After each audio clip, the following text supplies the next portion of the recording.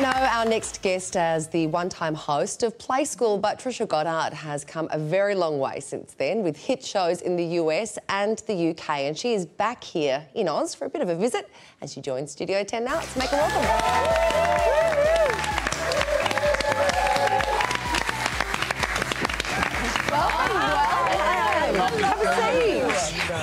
Hello. Wow. Welcome back to where your career Thank you. all began. At Channel 10, off the dish with Cameron Daddo. Oh, really? it was my first appearance. And then um, I worked with SBS. Mm-hmm. And then, of course, after that, I got headhunted to the ABC 7.30 report. Then to Channel 10 to do Live It Up. For, yeah, remember- remember yeah, that? yeah, Live yeah. Yes. Um, Jono, you came on to Live It Up. Yes, of course. I've learnt so much from being on that show.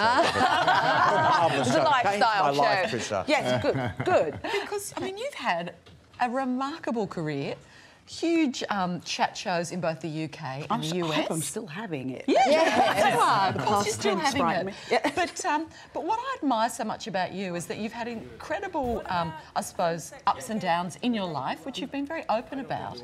But you've used those sorts of experiences in your show to help other people, haven't you?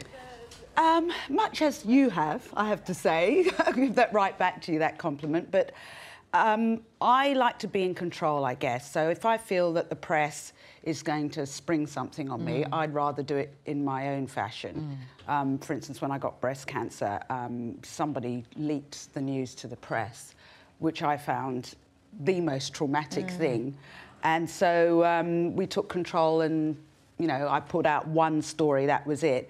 And yes, of course, you, I mean, as a journalist, you use everything. You, well, you should be using everything in your artillery, which is your personality, your life experiences, research, and, and so on. Going back to your television success in the UK and America, do you think uh, being trained in Australia, if I can put it that way, was, was helpful to your career? Are, are we more gung ho in our approach? Absolutely, you're not scared of asking the questions. But I tell you, the biggest training, don't laugh, was working at Play School. Because I'm, I've always said if you can get a mm. message across to four year olds, mm. Yep. the rest of the world is a walk in the park with Big Ted. Oh my God, look, I look so young. Oh, you look gorgeous. Oh my God. I look the same. Are you kidding? I'm coming up for 57. Oh, wow. Right. And did you, when you started out, Trish, because it has been so phenomenally successful, do you think, right, that's it, here I am, there's a young self, I'm going to take over the world, or is it something just caught, caught you up and it's just a sort of wave you've been swept on? I'm actually boringly non-ambitious. Um, I've just gone from thing to thing, you know, uh, from one thing to another.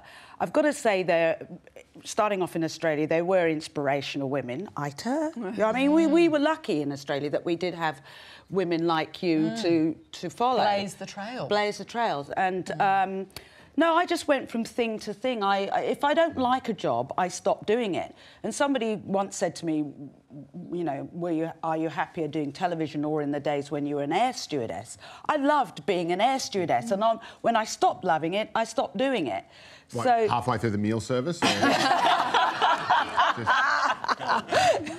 I waited till coffee and petit four, please. Um, you're not afraid as well um, to be parodied. Uh, I think you did it on um, Shaun of the Dead, Little Britain as well. Yes, Yeah? yes. A lot of Americans recognise me from Shaun of the Dead. Oh, Little Prince. nothing to do with it anyway, so just leave her out of it. Just stop getting involved, you should God, I'm just such a mixer. No, I, I, I know why I'm here. It's because you're doing I've had two babies and I'm only 12. You are run out of order because I'm 13 when I have my second child. You can well shout, Trisha, God, I'm just a Um, you're not in trouble. You're not in trouble. You're here for something nice, Vicky. Really? Yes. Love it, but yeah, but no, but yeah, but that was that was looking back at that that was a really really tough time in my life i don't know quite how i, I did that if i remember rightly um, it was around the time when my my late mother was um, diagnosed with being terminally ill and I, I I look back at that and I know you guys are laughing but I still feel The- what the, the going on pain yeah yeah Well, it's that empathy that's obviously made you such a success mm. with your chat show as well. Thank you so much for mm. coming on the couch and talking to You're so us. We welcome. appreciate it. Trisha Goddard, everyone.